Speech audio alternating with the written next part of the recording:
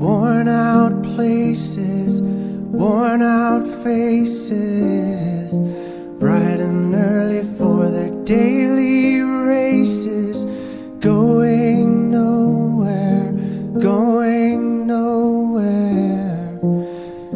tears are filling up their glasses, no expression, no expression. I normally don't buy a thousand kilos of chocolate, but if I buy a thousand kilos of chocolate, I just want to be sure that no slavery is involved. And I don't understand why you can't tell me that. tomorrow, and I find it kind of.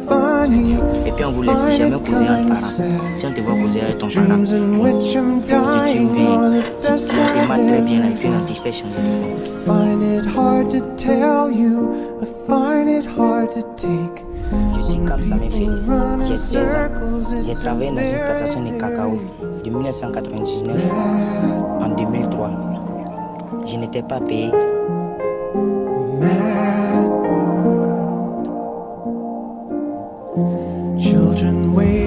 Waiting J'étais forcé de travailler. Je n'avais pas la liberté pour quitter l'île. Happy birthday, happy birthday. In our perfect world, a consumer would never have to choose between a slave-free chocolate bar and one that is produced with the risk of child exploitation behind it. I've been standing for more than two hours now in front of your factory, and, and for some reason uh, they don't let me in. Me, no one teacher, tell Them me. call Nestle. Ask them. See what they say. Let, let, let, let's face it, slavery exists. Oh yeah? Clearly.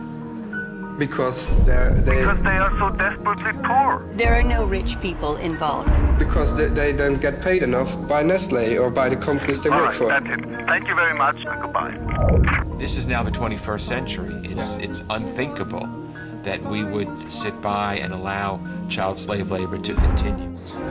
Do we stop buying chocolate? Fired. Non, il faut faire quelque chose, forcément. I'm gonna put that chocolate on the market as slave-free chocolate. Dit is een historisch moment.